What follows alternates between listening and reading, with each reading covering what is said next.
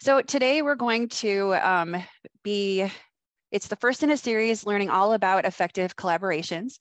And um, we're going to start with building teams, forming teams. So um, that's the topic of this first session. And the main objective, the main goal is to help you develop knowledge and skills to form effective interdisciplinary research teams for greater innovation and impact. I wanted to take a few moments and uh, just give a few shout outs and introductions myself. Put the chat away. Um, so I want to definitely thank the uh, CAIRIBU Interactive interactions core. Uh, Chris, uh, Jennifer, and Mariana have been instrumental in setting up this workshop series, and I couldn't have pulled it all together without them. So I just wanted to make sure that I gave them a shout out and thanked them for their contributions.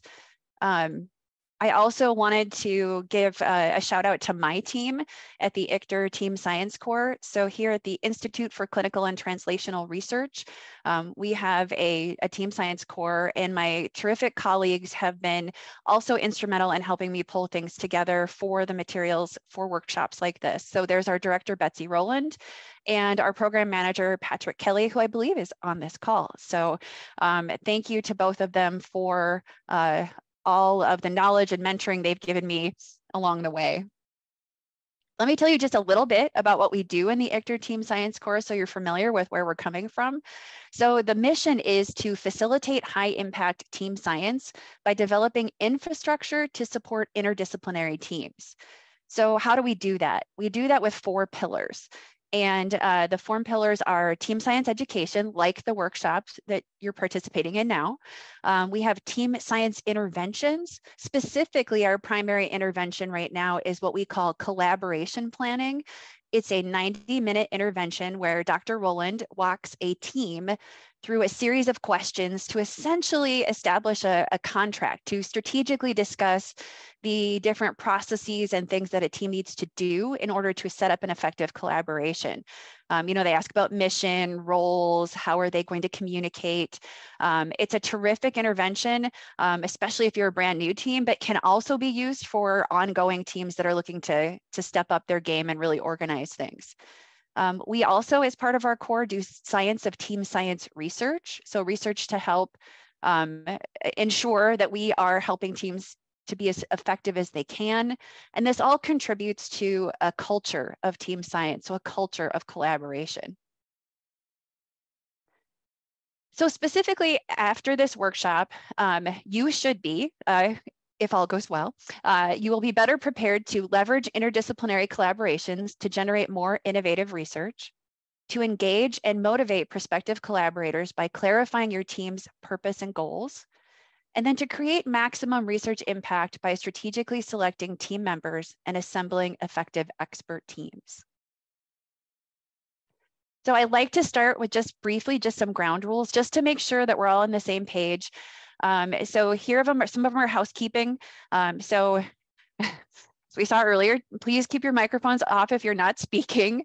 Um, I do like it if you have your videos on. I feel like it generates more of a sense of community, but I completely understand sometimes we have issues with bandwidth. You might want to take a few bites of your lunch.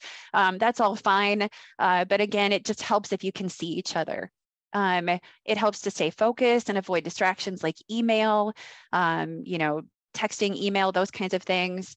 Uh, making sure that the floor is available uh, for everyone so that everyone can participate and that no one individual dominates. And I'd like to say that um, I can't tell just from names from the participants, but I do know that when people registered and filled out the needs assessment, that we had a very diverse potential pool of participants. So just be mindful, we'll have postdocs, uh, faculty, staff. And so they're going to be people in a number of different roles. So just to make sure that you can learn from everyone and that everyone has an opportunity to speak, um, even if they're not a senior representative.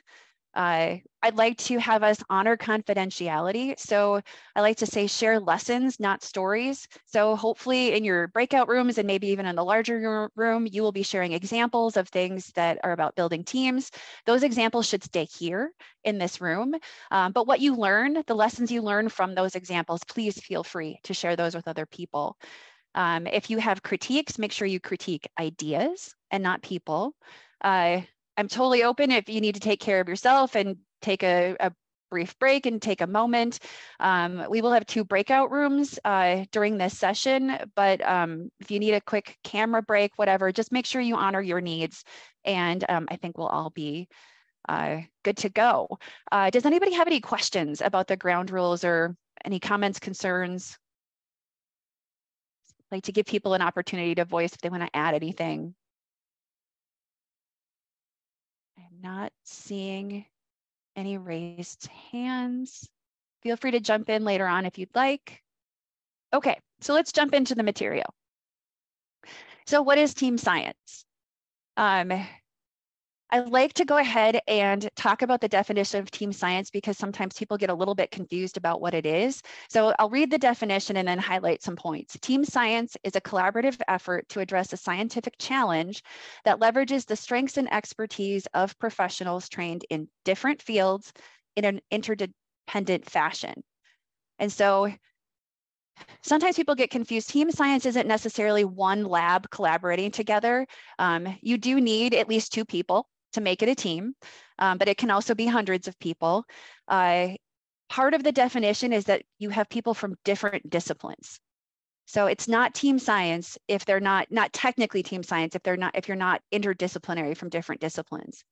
And the notion of being interdependent is really important because what we're talking about in collaborations is essentially the co-creation of knowledge and the co-creation of processes and understandings of your teammates. So these are inherent in team science initiatives and in uh, effective collaborations. Um, here at ICTR, we work primarily with translational teams.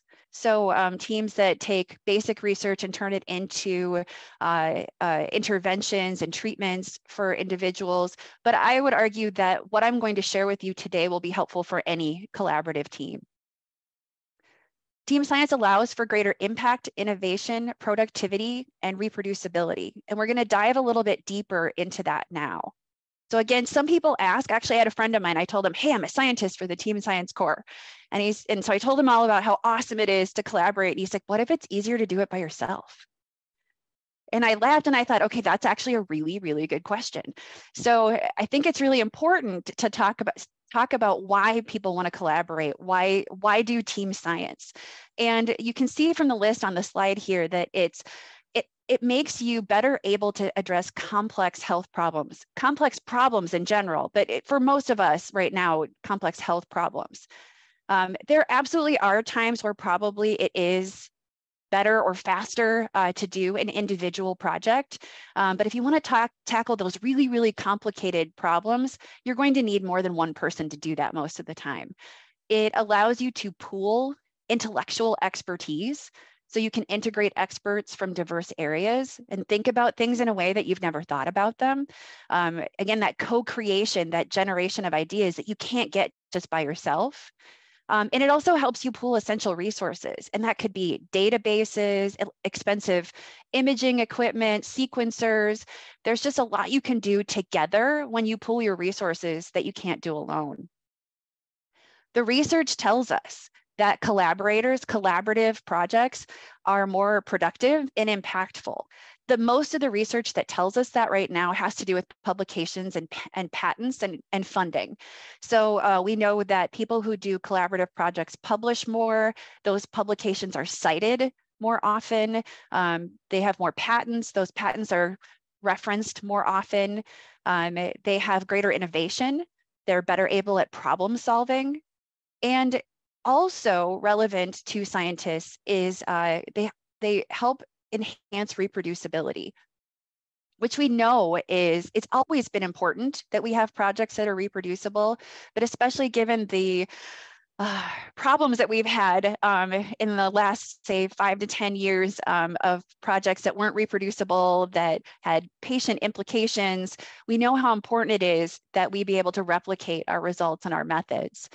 Um, and bottom line, uh, at least for many people, collaborating is just a lot more fun. You'll notice that of all the things that you talked about, many of those things are common to teams in general. So in 2015, the National Research Council sat down and did a huge literature review and assessed teams in general. And they found out that teams overall, collaborative teams, team science, uh, had about seven common problems um, that were most difficult for them. And uh, I'll just start at the top, uh, and some of them sort of overlap with each other, but um, having highly diverse teams, and I think, uh, is it is it Petra or Petra? Um, I, I hope I'm saying your name. Petra. Petra. Okay, I've known both, so I wasn't sure. Um, uh, thank you. So Petra brought up, uh, you know, needing to speak that common language and trying to get your team members to communicate with each other when you come from wildly diverse or even slightly diverse disciplines um, can be a problem. That can lead to a difficulty in this deep knowledge integration that you need to create that something new, that co-production.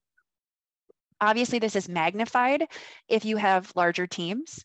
Um, it's a little easier if you're sitting side by side with somebody and just say, hey, I didn't understand what you said versus, you know, a team of 20 or a whole consortium. Uh, uh, moving on to a different idea, which is the next one on the list is goal misalignment. And so having teams uh, and team members with different goals can definitely create conflict and require management. And this can be something like in terms of uh, intellectual ideologies where you might have um, one scientist proposing a theory and another scientist proposing another theory. It can also be more practical things. So imagine, you know, especially early career investigators, um, publication is important. Um, that may be more important to them than say um, getting the the um, uh, the tool or the cure or the treatment out into the world. Uh, so just having some of those different needs as a team member um, can be problematic and something to uh, that you have to, to have to deal with. Uh, all science teams have to deal with permeable boundaries, whether it's graduate students and postdocs or um, especially translational teams move through these different stages. You start with basic research, that basic research uh, um, ultimately becomes some kind of intervention, and then it's disseminated into the world for, um, for use. And you're going to have different people on your teams at those different times. And so every time somebody leaves or joins your team, you have to bring everybody together, get everybody back on the same page. Uh, geographic dispersion is a pretty obvious one. Again, I think we have people from all over the United States right now um, dealing with time differences, cultural differences, um, uh, ethos at a, a, specific institution. They might have different ways of doing funding, uh, different ways of organizing things. And then task interdependence is always a tricky thing. Uh, whenever you're waiting for somebody to do something, um, figuring out good processes to uh, make sure that everyone's roles and expectations are set up so that all of the work can move forward smoothly. So these are just the, the, the seven things that were identified and uh, by the National Research Council. So we've talked a lot. Oh, I'll say one thing. So I did want to share this quote as well. So bringing these things up, uh, science teams rarely fail because of the actual science. So you're all experts in your fields. Um, you're you're doing the work you're doing uh, for a reason. But many individuals, many scientists are not trained in overcoming all these other things. And I hate the term soft skills, but trained in the leadership skills and the coordination skills, communication skills that you need in order to facilitate an effective collaboration. And so science teams rarely fail because of the science. They fail or falter because of the organizational choices leaders make and the cultures that leaders build. So it's important um, to learn the skills and the practices you need in order to overcome these things. So let's talk about what we do. So we've talked about what's wrong and what we need to worry about. Um, let's talk about what, what our best practices are. So in uh, 2021, uh, Betsy Rolland identified uh, six best practices that either exemplify that a team is functioning effectively or help a team to function more effectively. And I'll go through them here. Um, and before I do that, I did want to say We will be covering all six of these uh, throughout the course of the workshop series, but we won't be covering all of them in detail today. So we will dive deeply into all of them, um, but today we're only going to touch on the first the first one in particular. But I want to plant that seed so that you can think about it as we develop throughout the workshop series. So the first one is to develop a shared mission, vision, and goals, and to get your team uh, aligned behind them uh, to build a culture of trust, accountability, openness, inclusivity, and constant learning. Um, you could use the phrase psychological safety. Uh, the next workshop uh, in April will actually be a whole session on psychological safety, building trust, inclusion, um, facilitating interdisciplinary conversations. Here it says about approaches, methods, and results. Uh, but it's basically having those conversations so that all of your team members have uh, a shared understanding of how things work and how to move forward. I'm going to lump the next two together. So build strong research support systems and build accessible, transparent data management systems. So these are the kinds of things that you want to have in place uh, so that your team can focus on the actual work. So these are the coordination systems, the communication systems, that if you set them up well, then you can focus more on the research and less about the, the awkwardnesses and difficulties in coordination. And then we bring all of this together uh, through strong functional leadership. So we're going to talk about building a team. So let's move on to team composition and assembly. So probably the most important thing you need to do is to identify your team mission and goals. Now, it's not really important what you call that. We could, uh, people in fact do argue about what's a vision, what's a mission, um, what's your purpose. So I think as long as you know your overarching goal for your team, your primary mission, um, you should be set. And then having a clear idea of what your goals are so that you know what you need for that team. And I know that teams, uh, teams are in a various state. Sometimes people come together and they decide these things together. Sometimes it's one person who has some great ideas and then goes and looks for other people. There's more than one way to do that, but putting mission and goals front and center is important. Once you do that, you need to determine what your required resources are and who you need to have on your team in terms of expertise. You can't do the work if you don't have the knowledge and the skills in order to do the work. And then it's time to strategically select your team members. Once you have your team members, you clearly define your roles and responsibilities of those team members. So we're going to dive a little more deeply into some of these things, but these are sort of the, the steps. If you're like, okay, how do I build a team? This would be the very beginning of that. So in addition to the expertise, you also need to be able to identify what makes an effective collaborator. And I think, I think I heard some of your comments sort of touched on some of these things that just because somebody is amazing and famous in their their discipline or they're they're an expert, they're the expert, doesn't necessarily mean that that person is going to be a good team member and that that person is going to help you propel your work forward. So at this point, I wanted to take a moment and have you think about the collaborations that you're working on, the collaborations that you have worked on that have gone particularly well. And take a moment and think about what was it that those collaborators, those individuals brought to the table, brought to your meetings that made them particularly effective? And then once you get one or two of those, if you could throw those in the chat, that would be great.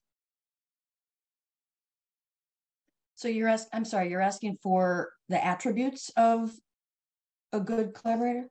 Yes, thank you, Chris. That's a good, yes, the attributes of a collaborator. So what is it, what do those people bring to the table? So we have common goals.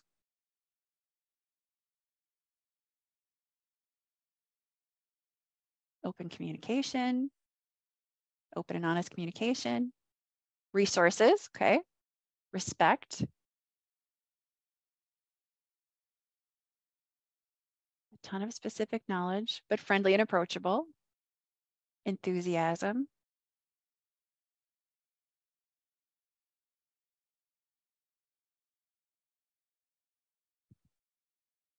okay. All right, so I'm seeing some themes. Uh, organized, responsible, complementary skills, engagement,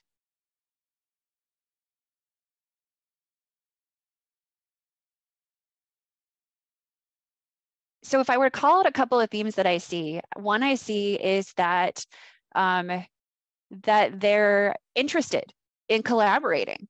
And I know that may seem very simple, but I'm seeing responsive, engaged, enthusiastic. So somebody who wants to be there and wants to really participate in the project. Um, I'm hearing open communication, um, that they want to bring things to the table, uh, resources, specific knowledge, and they have common goals and you have things in common or you're interested in similar things. Those are terrific. That's absolutely characteristics of an effective collaborator. So uh, Dr. Rolland has asked people this before. And so here's some of the data that we have collected, that she has collected um, in uh, previous workshops. And you'll notice that other people, other scientists feel similarly to you. So they want good communicators, people who speak up, people who share credit, people who are reliable, transparent. Again, I'm hearing echoes to the things that you had put into the chat. Uh, they reflect on their own work and the team's progress to improve. They ask for help and offer help. They understand how everybody's work contributes to the project. They address conflict. They share information, again, going back to transparent. Um, they're respectful. I know one of you called that out specifically. They want to integrate their work. They want to be part of that team. They are responsible. They show up on time. They define terms and jargon, treats everyone um, as a collaborator. Uh, they're focused on the goals and more about transparency. So when you're going to build your teams or as you move forward and integrate new team members into your current ongoing teams, I would think about which of these are the most important for you. So maybe think about, you could make, you could have a list of 10 to 15, but I think sometimes um, it's helpful to maybe limit it to say like five. If you could take the five things that are the most important or the top three things that are most important, um, and just be mindful of those. Always have those available to you uh, when you go out and integrate and interact in the world, that that can help you identify really good collaborators to make your projects more effective. I saw Petra said responds well to critiques. Absolutely. Accepting feedback is very important. So how do you find these team members? So we know, so now you know the expertise you need and you know what your good collaborator looks like. How do we define these team, how do we find these team members? So I include this slide um, uh, because uh, it's sort of the textbook approach for identifying team members. I'm not sure it's necessarily the most effective approach, but I put it out there to be thorough and to make sure you have this information. They do, in fact, have, I like to call them, I guess, matchmaking uh, services out there for people who are looking for specific kinds of collaboration. And along the um, side there with the hexagons or whatever shape that is, um, there are links there to some of the most commonly cited uh, matchmaking sites where you can go in and say, I need somebody who does uh, genetics, and um, it's going to hook you up with someone who has the expertise that you're looking for, but it isn't necessarily going to tell you whether or not they're a good collaborator. So just, just so you know. Um, so instead, let's go ahead and jump ahead to the next slide because um, we'll touch up on these other two bullet points later. Instead, um, I think researchers are much more likely to do these things organically. So I don't know if you, it's, it's hard. If you were in a room with me right now and we were all in person, I'd be like, who would be inclined to check out these matchmaking sites? And I'd be curious to see how many people would raise their hands. Um, what I've heard from other scientists is they, again, they take this more organic approach. So what they do is they attend, they network. They attend workshops, conferences, seminars, and they do it with this sort of interviewing lens. And this is where having those top of those uh, collaborating characteristics top of mind makes it easier. So the next time you're at a conference and you show up at a poster session, that you know what you're looking for when you're just chatting with somebody about their cool poster. Um, and so some of the questions you can ask yourself above and beyond, is this work interesting? Does it contribute? Uh, does it have the, the knowledge and the expertise I need? Is when you're talking to that person, Um, do they have experience collaborating? Again, it doesn't mean you can't collaborate them because somebody has to start, everybody has to start somewhere. Um, but are they good collaborators? Do they have a track record of collaborating? Um, are they in, if they were new, are they interested in collaborating? Again, going back to the things you said in the chat, engagement, enthusiasm, being into it. That's my language, not yours. Um, and then think about when they're in a presentation. Uh, how do they discuss collaborations or authorship? So even if you don't get a chance to talk to them, but you're sitting and listening to a talk, do they call out the team members on their slide? Do they, when they give the references, are there team members uh, of various levels and degrees um, included in the authorship? Those are usually pretty good signs that those people are pretty good collaborators, or at least they do it a lot. And then often, if you can get the icing on the cake, if they tell really great stories, in their their presentations about the work they're doing together. Oh hey i reached out to this colleague and then we started talking and um, and they tell these great stories about the work they did together. That's also a good indicator that they may be a good collaborator. Now there's one um, there's one caveat here because somebody brought this to my attention is that if you're looking for interdisciplinary teams you have to maybe find fora that are outside the fora that you normally attend. So if you're looking for collaborators in, say, urology and you're attending a urology meeting, that's perfect. If you're looking for informaticians or geneticists or pathologists, or I could throw out a number of different things, you might have to look around to see if there are other meetings or seminars that you could attend it's probably easiest to do that at your own university. You know, scroll through the events site and just see if there's any seminars or things that are interesting, or maybe reach out to people in those departments and ask them if there are people giving talks um, or if there are people doing the topic, the expertise that you're looking for. I think I'll pause for just a second and just see if anybody has any questions so far. I have a question. Yeah. So you you started this section by saying the team composition and assembly. Yes. So and how you start with your mission and goals, and then Yeah. you identify the skills and the knowledge you need. So is this something that should be like written, like written up? Um, uh, you, you know, actually, yes. So in that collaboration planning um, document, well, okay, so let me I'm hearing a couple different options there. So I'm imagining if you're an individual researcher and um, you're starting on building a team, absolutely for yourself, I would document that. I think that having that written down will help you be mindful of it and keep it top of mind. Um, if you have an ongoing team, then I would absolutely include these things in your collaboration planning, whether you do our intervention, which is you know, working you through uh, creating an actual collaboration plan, or you simply document it on your own, absolutely, I think you should document it. Um, it keeps it top of mind, like I said. It also makes, um, it deals with that permeable boundaries issue.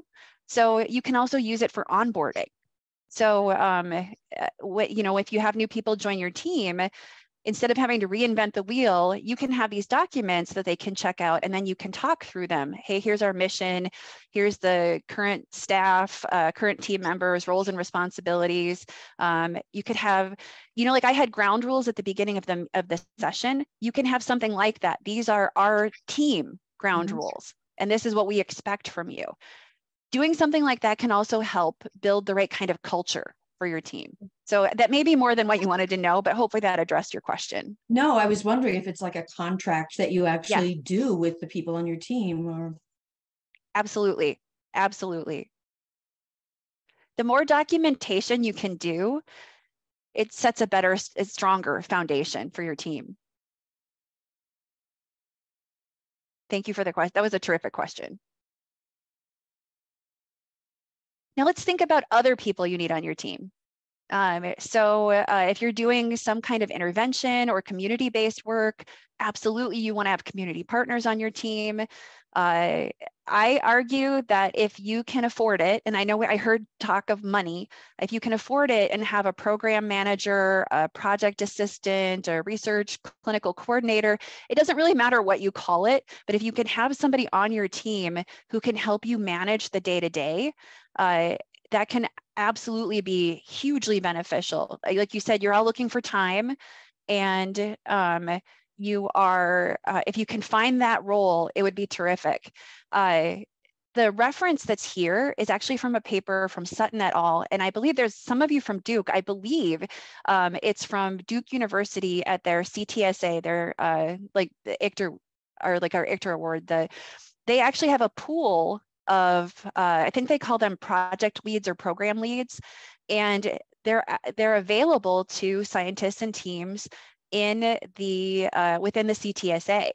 And so a, a lot of times when you're when you're writing grants and putting in funding, sometimes you just don't have it in the budget to pay an entire project manager but maybe you have 25% or 50%.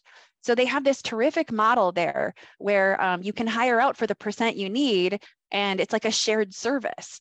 Um, so I don't know everybody else what, but it's such a terrific way to um, do it. So there's a couple uh, comments in the chat that I'd like to, so I think there are two ways teams start. We have conversations and start seeing opportunities, or you have a project idea and look for people. Yes, that's absolutely true. And the project managers are really helpful. Excellent. Um, Frederica, are you from Duke? I know we listed everything. Are you, eh, oh, oh, okay, excellent. That's so wonderful that we actually have a representative here to talk about that. Excellent. I, it's also good to consider if you want research administrators as part of your team. When I worked in a different position uh, for the Department of Biostatistics, I was a research administrator. And because of my background in science, that I often did, I didn't do the science with them, but I often met with the teams at least occasionally to help them keep their, their uh, grants on track and manage their resources and help write progress reports and things like that. So you can decide whether or not you want a grants manager or a research administrator as at least a, a part-time member of the team. Okay. Any questions or comments before we dive into diversity?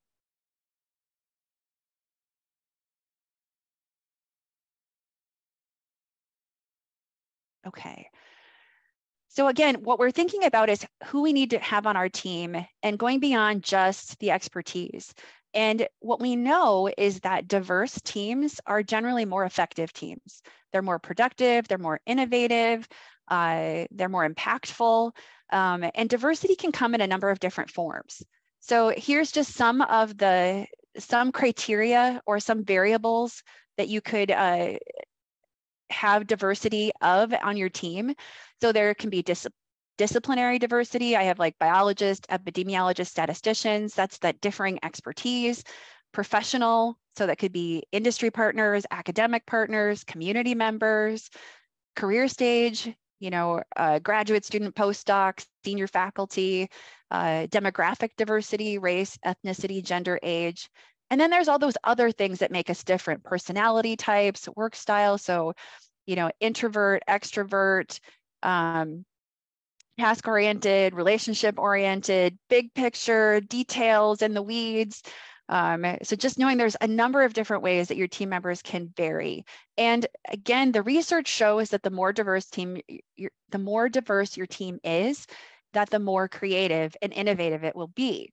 And the reason for that is that what you're really looking for is, um, here, we'll come back to that uh, let's see, sorry, a little out of control. Okay, what you're really looking for is cognitive diversity. So cognitive diversity refers to differences in perspective or information processing styles. It's how individuals engage with uncertain or complex situations. So bottom line, you're looking for people who think differently. And that could be for any of those differences that I had in the list. It could be because uh, a brand new uh, early career fac or faculty member has some great new innovative ideas. It could be experience from the senior person. It could be based on cultural differences. But what you're looking for are those just the differences in the way people think, because that's by, by being open to those ideas, to hearing those perspectives, that's what's going to get you to spark new ideas and create new things. Um, uh, it does take some effort. So it's less visible. Some of those things on the list were obvious. You, you can just look at somebody and know that they're different, but most of them are the kind of thing where you have to get to know them and you have to invest a certain amount of time. And so this figure here is actually taken, I adapted it from one from Katherine Phillips in 2014. And what we're showing is diverse teams in blue and homogenous teams in red. And what we're, uh, we're measuring, I put in there productivity, innovation, problem solving. And um, what you'll notice and what research is telling us is that the diverse teams uh, don't perform as well as the homogenous teams at first. And again, you have to think about that. It's it's both our pro and our con. The diversity brings differences. The differences bring creativity and innovation, but they also just bring those differences. And you have to figure out how to have the conversations so that you can capitalize on those differences and really um, leverage them to do the wonderful things you want to do on your team. And so I like this graphic because it shows you that um, ultimately the diverse teams outperform the homogenous teams, but it does take that initial investment, but it will give you return on your investment. If you are approaching uh, a potential collaborator and uh, uh, one, this is just sort of some people are like, well, how do I do that? Especially if you're particularly introverted, knowing that you have a little bit of a script could be helpful. Um, so if you even just say, hey, uh, I'm studying uh, X, this is my mission, my goals, um, and then ask them if they see that there's a way for them to contribute. Sometimes that's a good way to identify whether or not they're good collaborators because it gets them to think outside, not just of, oh, I know I'll this is my area of expertise, but they can think about, oh, this is how I see myself in your project. Um, eh, ask them what they need to succeed because you want to make sure that it's successful for them as well. And you don't have to give them everything they ask for, but you want to set them up for success. Thinking about actually more formally interviewing, um, eh, you can you can do it formally. Sit down and actually interview people to be on your team and ask these questions that I'll go through in just a second or you can even just identify questions that you know, you know, like I said, at that top of mind, um, you know, the top five good collaborators characteristics, you might have two or three questions that you finally land on that, like, if I ask this question, it always tells me if that's the right collaborator. So in the NIH field guide, which there will be a link in the slides, uh, they do have actual questions, and there's three different kinds. There's performance-based questions, which are questions about can the person do the work? um, eh, you're a data you're a, um, a data scientist. Can do you know how to do those algorithms? That's what we need for our team. There are values based questions. Do they have the same values for your team? So um, do they value accountability the same way uh, that you do um, do they value culture uh, uh, hearing everybody's voice, all those things. Like, do they have the same kinds of values? And that can often be important in establishing whether or not someone's a good collaborator or not. Um, and then asking them how they actually react to situations um, can sometimes pull out things that you might not normally see. You know, um, you can create scenarios that say things like, you've made a huge mistake and you have to talk to your team about it. Like, how do you approach that? that's a situation where learning about how someone handles a mistake could be very telling about what kind of person they're going to be and how they're going to handle things on your team. So again, I know I'm running out of time a little bit, uh, but those questions are available and they list out, I think there's five or six for each category, and you are welcome uh, to use those questions if they are helpful to you. I did want to say just briefly, sometimes people are approached to collaborate. So imagine you're that other person and um, you can ask yourselves questions about the actual collaboration. Uh, so does the collaborator have a good reputation as a collaborator? Is this compatible with the way, is his management, his or her management style collaborative uh, in the same way I want to be? Um, and can this collaboration achieve the stated goals? Is it gonna work? One of the things that I think is more important is to think about your own career needs. So will it help me achieve my vision? uh, what will I have to say no to, and how much effort's involved. So just thinking about if you're evaluating whether or not you want to join another collaboration or not.